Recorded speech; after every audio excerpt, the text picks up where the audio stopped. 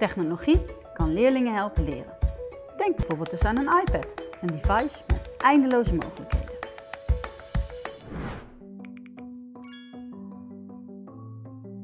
Mijn naam is Eveline en in dit filmpje laat ik je zien hoe je met behulp van Rolf Connect Storytelling een verhaal kunt vertellen.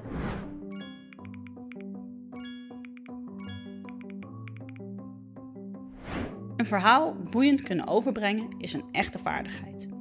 Het is veel leuker om naar een goed opgebouwd verhaal te kijken of luisteren dan naar een verzameling feitjes. Daarom is het slim om het verhaal een duidelijk begin, midden en einde te geven. Leer kinderen deze vorm van storytelling nu ook aan via de iPad. Start de app Rolf Connect Storytelling en zet daarna de hub aan.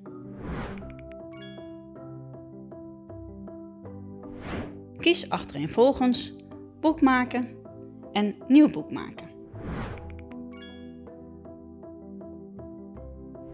Leg een oranje blokje op de hub, zo bepaal je over wie het verhaal gaat.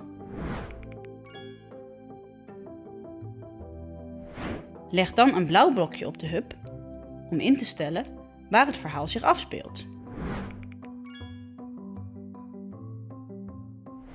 Met een groen blokje op de hub voeg je voorwerpen toe aan het verhaal.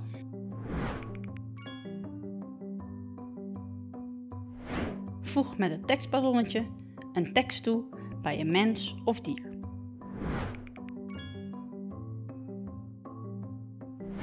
Is je pagina af? Tik dan op het plusje rechts in beeld. De pagina wordt opgeslagen als foto en je ziet een nieuwe bladzijde verschijnen. Klaar met je verhaal? Tik dan op het icoontje van de pagina's en kies het pijltje terug. Je boek wordt automatisch op de iPad opgeslagen en je kunt het terugkijken in de boekenkast. Wil je meer weten over het gebruik van de iPad bij jou in de klas? Kijk dan even verder op de website van de Rolfgroep.